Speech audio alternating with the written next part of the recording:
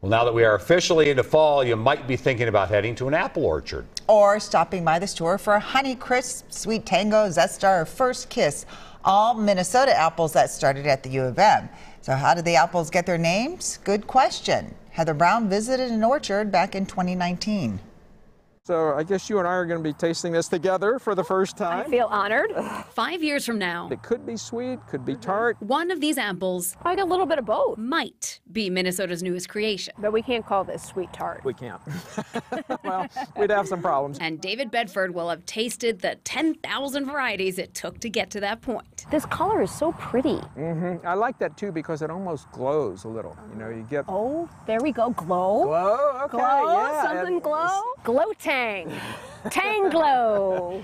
I Wait, don't know. that's tango. We've done that already. There are a lot of rules when it comes to trademarking names. They can't be too descriptive, I assume you couldn't call it tasty fruit. That's right. and they can't be confused with something else. That's how we got Zestar in 1996. We knew we couldn't call it zesty, so we went to Zesta. And that all went well until uh, the Keebler Company challenged us.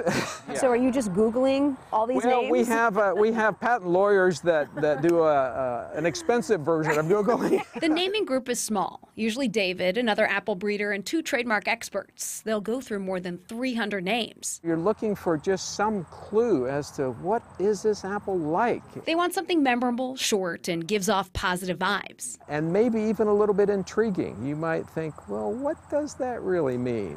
What does first kiss really mean? Yeah, yeah, that's a good example. It's the first good apple of the season. Snow Sweet, the reason for that name uh, was when you cut that flesh, it is as white as snow. They once had a naming contest. Gopher broke, oof delicious, I like the next one.